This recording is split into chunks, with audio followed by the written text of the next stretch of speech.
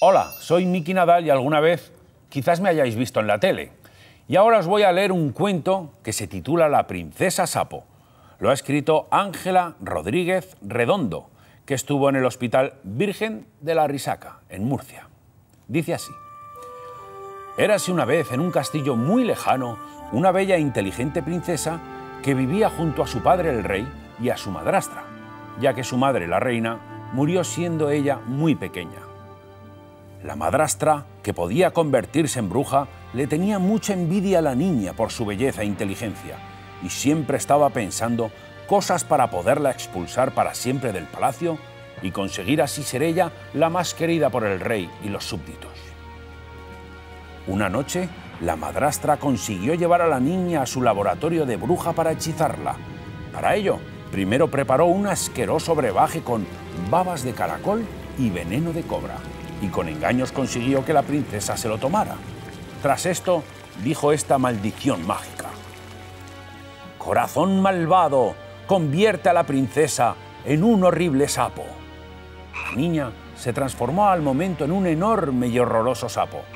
La madrastra ordenó a los guardias que lo llevaran a una casa embrujada que ella tenía al otro lado del bosque.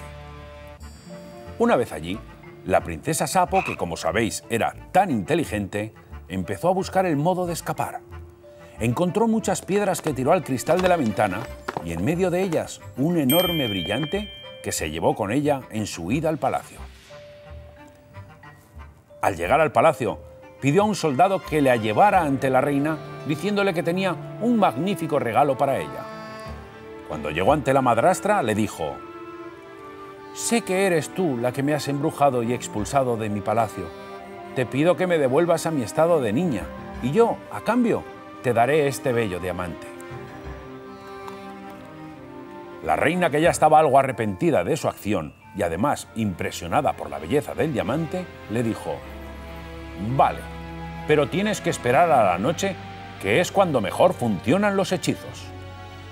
Llegó la noche y el sapo acudió al laboratorio secreto de la reina, donde ésta se transformó en bruja y realizó su hechizo. Esta vez utilizó para el brebaje un trozo de arco iris y un poco de nube, y dijo las palabras mágicas: Corazón de artista, convierte al sapo en princesa lista.